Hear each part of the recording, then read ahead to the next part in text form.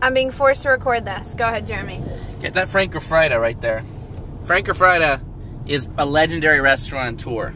Before there was a Danny Meyer, before there was a Mario Batali, Cows. there was a Frank Frida. Look at that.